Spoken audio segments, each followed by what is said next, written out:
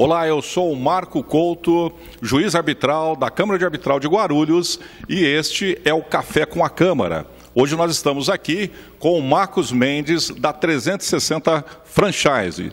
Seja bem-vindo, Marcos. Olá, Marco, tudo bem? Eu agradeço muito a oportunidade de estar aqui com vocês e estamos à disposição para esclarecer qualquer tipo de dúvidas com relação a franquias. Maravilha, Marco. Marco, é, eu gostaria de fazer uma pergunta para você. É, o que é franquia? Então, essa é uma dúvida que muita gente nos pergunta. Né? É, franquia, na verdade, é um modelo de negócio onde eu, como sendo o dono desse negócio, o franqueador, eu vendo a licença desse modelo de negócio para pessoas que seriam os meus franqueados em operar na, no, no, meu tipo de, de, de negócio. Né? Então, esse modelo já existe há muitos anos, é, está num, num, momento de franca expansão. Nós temos marcas aí como, por exemplo, o McDonald's é um, talvez é é o melhor modelo para se explicar o que é a franquia, que o mesmo lanche que você come aqui em Guarulhos, você vai comer em Dubai, você vai comer na China, vai comer nos Estados Unidos, em qualquer local. É padronização. É um modelo de negócio que ele é padronizado, todos os processos bem definidos, tem um instrumento jurídico que, que envolve esse modelo de negócio. Hoje, aqui no Brasil, nós falamos do modelo, do instrumento jurídico que rege sobre a lei 13 13966, é a nova lei, saiu agora em 2019, que substituiu a 8955. Então, lá nesse, nesse, nessa lei, diz todos os direitos e deveres que o franqueador tem sobre o franqueado e o que o franqueado deve fazer sobre a operação de franquia. Ô Marcos, e por que, que é importante as franquias ela ter a arbitragem nos contratos? Eu citei bastante sobre a lei aqui, 13966, que é a nova lei do franchising, né? E lá diz todas as regras sobre o que é eh, ser um franqueador e o que é o franqueado absorver essa, essa operação de franquias. É, e a arbitragem ela vem nos ajudar muito nesse quesito de, de litígio, digamos assim. Porque é, todas as discussões jurídicas sobre o franchising, feito numa justiça comum, ela é muito morosa, e ela tem detalhes específicos que muitas vezes o juiz não sabe é, resolver. Né? A partir do momento que você tem uma arbitragem e com árbitros, o, o juiz é, de arbitragem com conhecimento sobre o franchising, ele fica muito mais fácil nós resolvermos esse problema. Então, um, um, problema que poderia, numa justiça comum, demorar dois, três, cinco anos, numa, numa arbitragem se resolve numa sessão. Porque você tem pessoas com conhecimento nesse segmento e que vai te dar todos os, os apoios, os suportes para que é, isso seja resolvido da melhor forma possível. Detalhe, Couto, é, a Câmara Arbitral de Guarulhos é um, é um, um, uma, um, instituto onde nós vamos é, fomentar bastante essa questão do franchising aqui para a nossa cidade. Então, todos os contratos de franquia que forem redigidos aqui para a cidade de Guarulhos, nós vamos colocar a Câmara Arbitral de Guarulhos com certeza como sendo o nosso, o nosso é, é, mecanismo para resolver os problemas de litígio com os franqueados. Ah, perfeito, Marco. Marco, uma outra é, questão é com relação a, a, a aquele negócio, aquele modelo de negócio que deu certo e, e já está aí há anos no mercado e ainda não tornou-se uma franquia, né? A pergunta é, qual é a vantagem que a pessoa tem de transformar esse seu negócio uma em uma franquia? Perfeito. O que você comentou no início é muito importante, porque é, para transformar um negócio em franquia, nós devemos estruturar algo que realmente deu certo.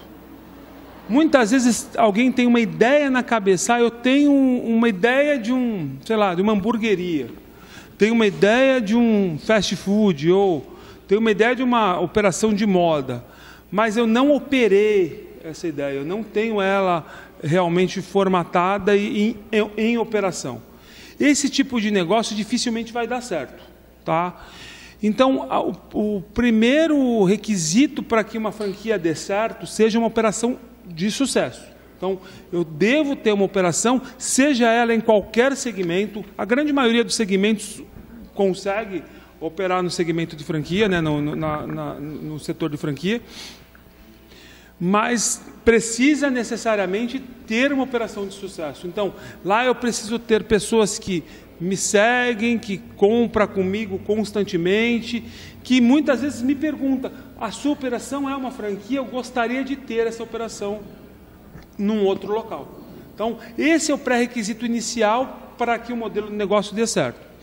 Eu costumo muito dizer isso para os nossos clientes que você tem seguidores, os seguidores gostam do seu negócio, se isso for algo positivo, você pode ter certeza que a chance de dar certo é muito grande. Número dois, que tipo de negócio é franqueável? Eu posso te dizer inúmeros. Né? A área de alimentação, hoje, hoje é a área que mais cresce no franchise. Então, todo mundo deseja uma franquia de alimentação. Eu citei há pouco o McDonald's, ele é um exemplo, mas nós temos aí uma franquia que cresce muito, como, por exemplo, o KFC. Então, é, é um modelo de negócio que, que, entrou no gosto da população, que é o frango frito. Né? E, é, fora isso, operação de chocolate, Cacau Show, Copenhagen, é algo que todo mundo conhece, todo mundo quer. Mas além da alimentação, nós temos a parte de moda, a parte de, de, do setor de serviços, qualquer tipo de negócio de serviço. Eu tenho uma operação de, de limpeza automotiva, eu tenho uma operação de, de chaveiro, uma operação de limpeza predial, enfim, qualquer tipo de serviço é possível transformar esse modelo em franquia. Então, é difícil encontrar um modelo que não é franqueável. Quando não é franqueável é o quê? Quando nós imaginarmos que é uma operação regionalizada. Então, por exemplo, eu vendo é, tapioca. Hoje tapioca, na verdade, virou algo nacional, né? Mas vamos dizer algo que seja local. Vendo o açaí salgado. O açaí virou nacional, o açaí doce, né? Mas o açaí, açaí salgado vira muito lá na região do, do Pará.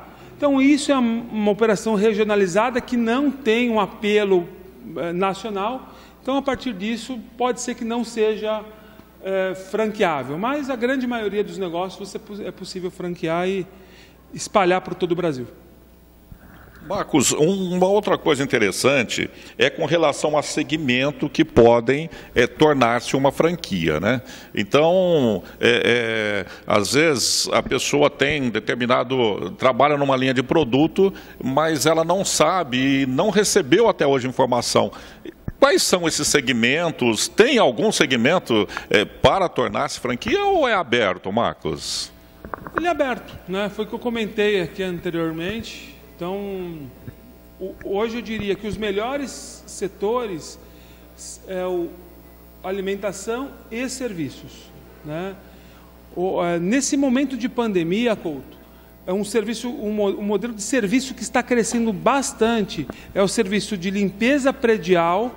Então tem muitas franquias desse segmento que estão uh, fazendo limpezas com uma higienização mais profunda, onde limpa fungos, bactérias e vírus. Tá? Tem grandes marcas no mercado fazendo isso.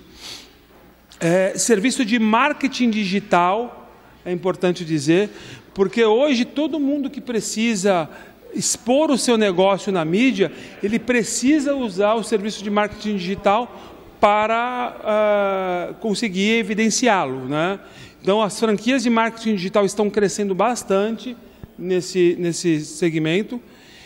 E franquias de, de, de alimentação, né? isso nunca, nunca parou e nunca vai parar.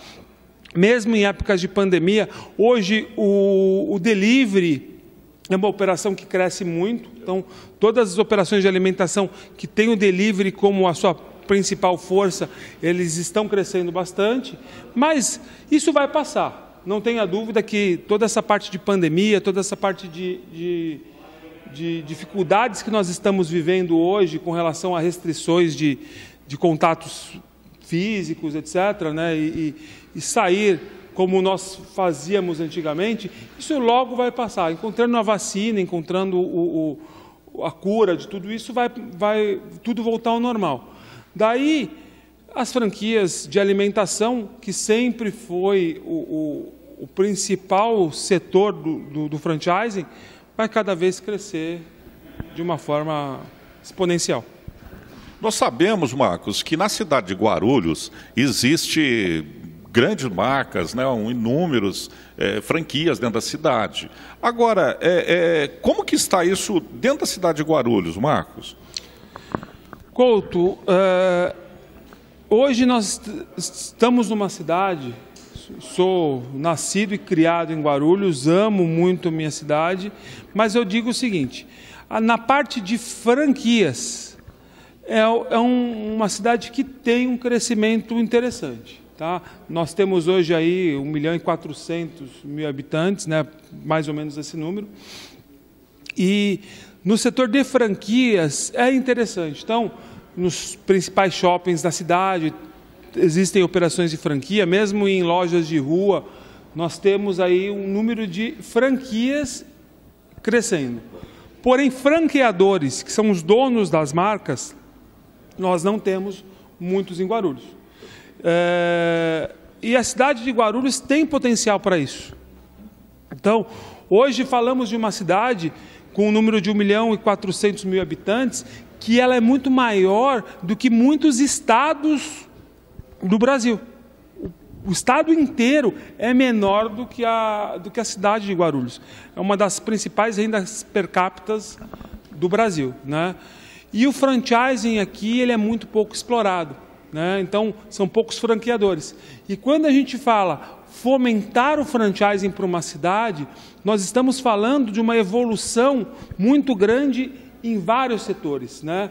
Então, você fala de, de, de, um franqueador precisa receber os seus franqueados na cidade dele. Né? Então, você vai ter turismo de negócios. Então, nesse turismo de negócios, vai fomentar negócios para a hotelaria, para a gastronomia e para o comércio em geral. Então, é, trazer isso para o entendimento da população e dos empresários de Guarulhos é muito interessante para fazer esse movimento crescer dentro da cidade. Perfeito. Marcos, nós vamos agora para um rápido intervalo e a gente retorna em seguida. Perfeito. Você, construtora, quer validar o método construtivo que mais cresce no Brasil? A Argamassa Biomassa é um produto que segue as normas 15575 e 16590. Agora sua obra vai ficar 40% mais barata quatro vezes mais rápida. O produto segue todos os requisitos normativos e sua obra muito mais limpa.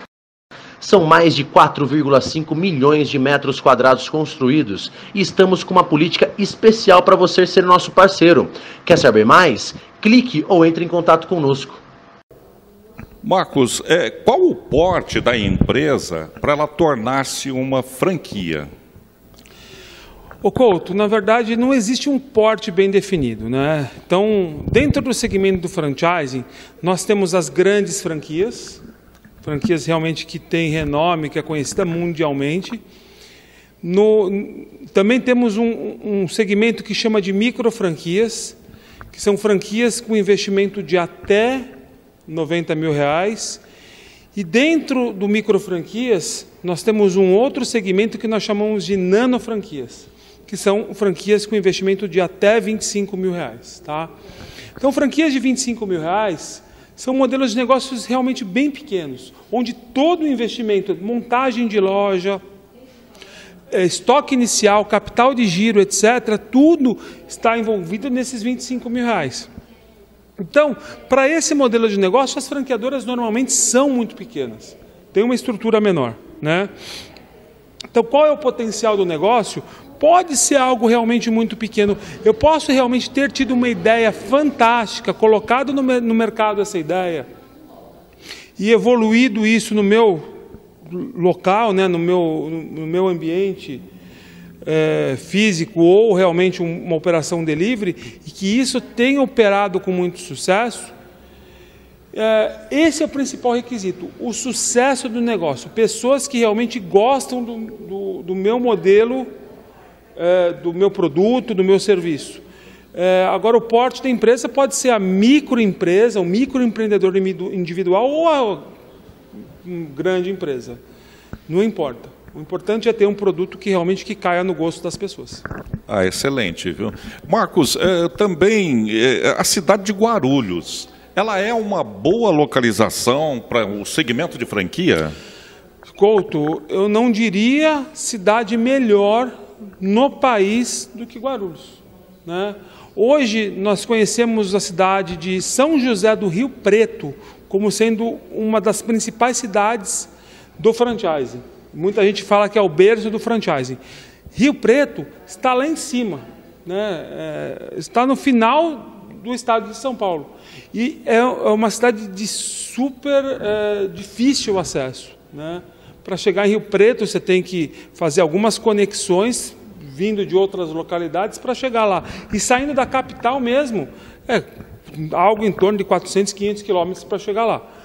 Então, e mesmo assim eles são conhecidos como berço do franchising.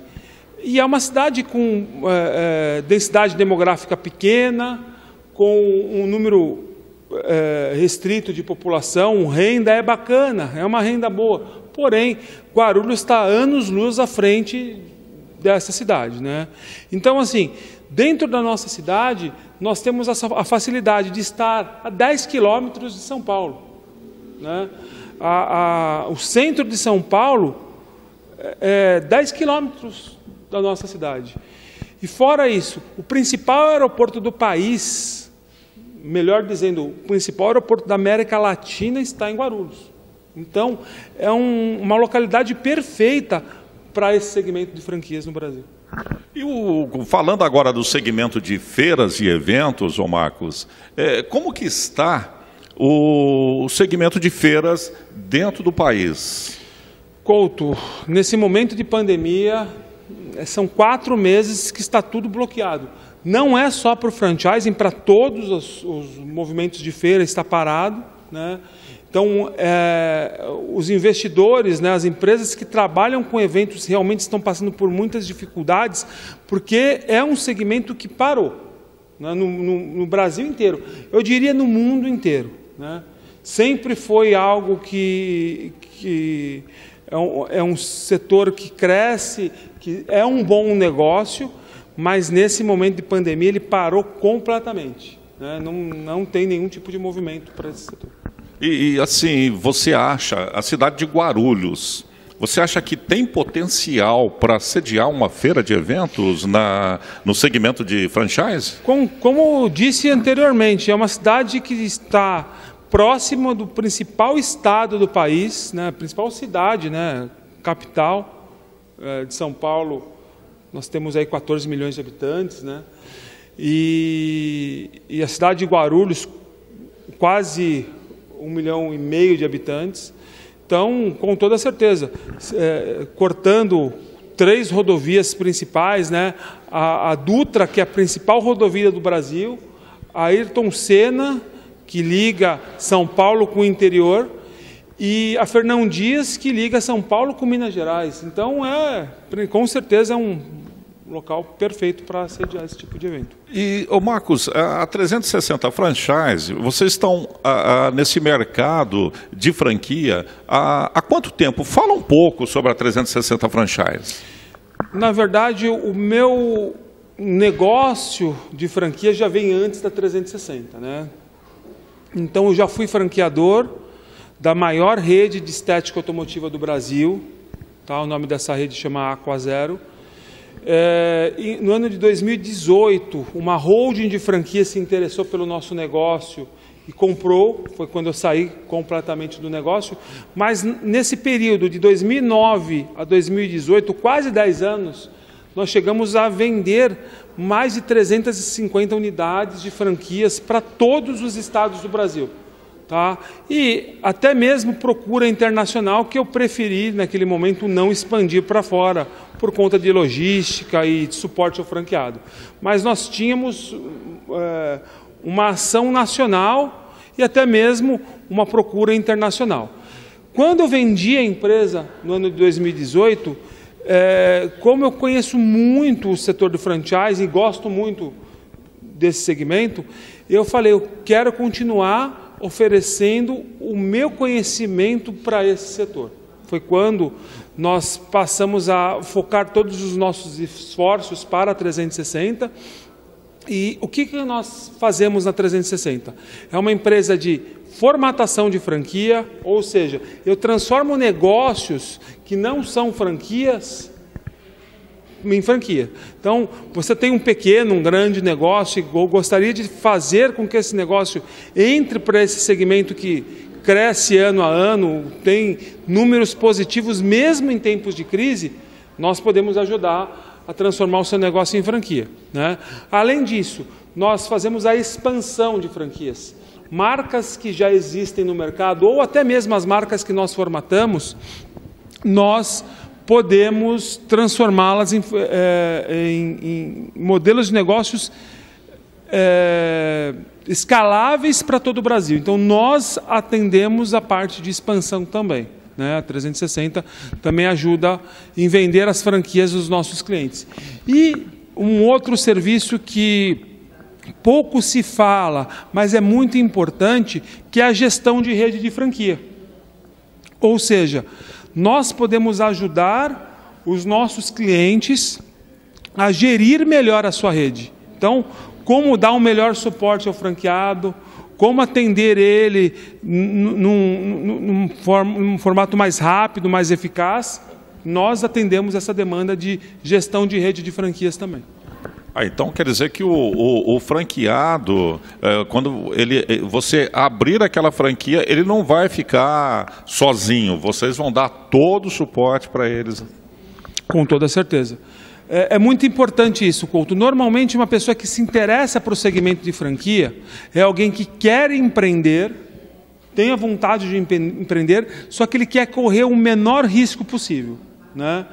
Porque empreender é um risco. É a mesma coisa que você jogar na bolsa de valores. Você tem lá uma possibilidade grande de ganhar um, um, um capital interessante, porém é, é, um risco que se corre. Né? A franquia é a mesma coisa.